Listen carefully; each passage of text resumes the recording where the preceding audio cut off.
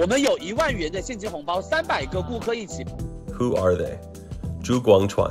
春花秋月何时了？馅料之争一直吵。A CCTV presenter famous for using comedic rhymes to present the news and a nightmare for sign language hosts.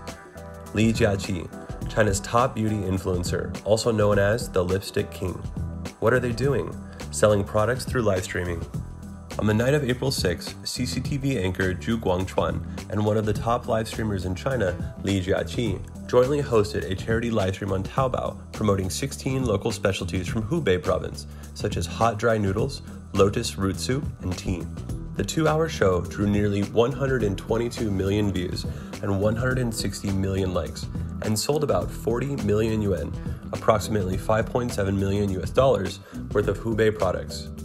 The coronavirus outbreak has put the whole country's agricultural industry on hold, causing the nationwide supply chain to grind to a halt. Hubei, the epicenter of the pandemic and also one of China's major producers of agricultural products, has had a particularly hard time of it. Through live streaming on the internet, products are showcased to customers in an interactive way.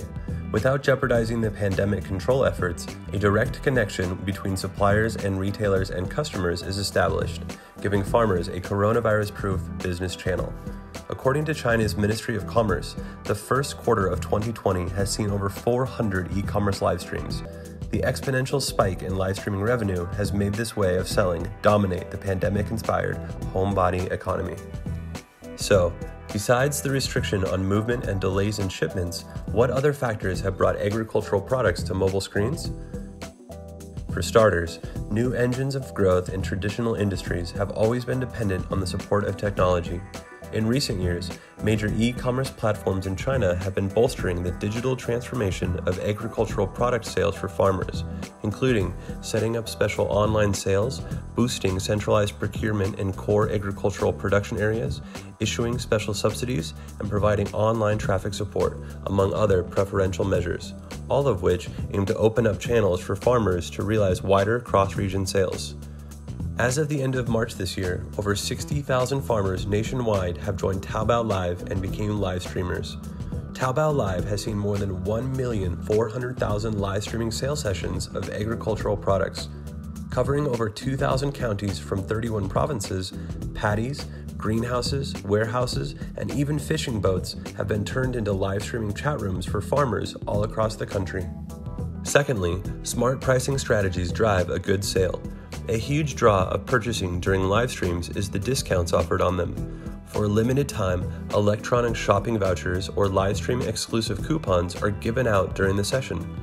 Live streaming flash sales are making customers change their buying habits from traditional web browsing to interactive shopping.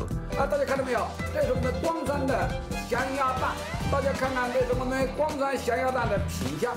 where they are able to get to know more about the merchandise from the host through live presentation in a transparent, authentic, and personal way. On top of that, personal charisma is another selling point of live streaming. 让你成为女明星的颜色，九号番茄色，所有人都可以用，买它。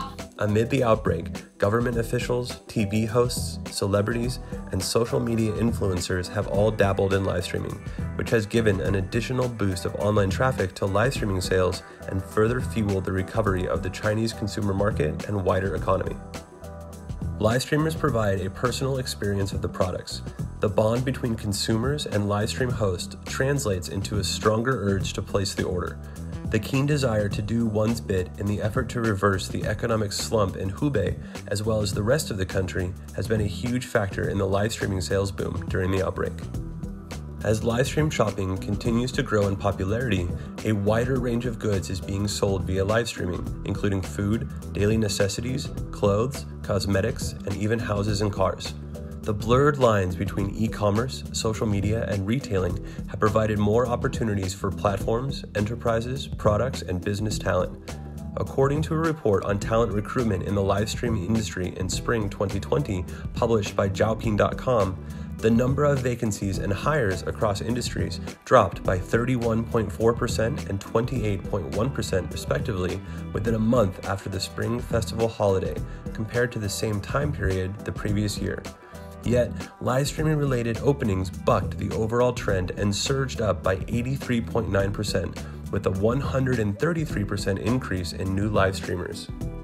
The The coronavirus outbreak has undoubtedly caused almost every industry to turn to digital technology. While live streaming presents Chinese farmers with new business opportunities, it also exposes the limitations in logistics in rural China, with the demand often proving difficult to keep up with this new approach to selling products. Will the rural logistics network improve with time? Let's wait and see.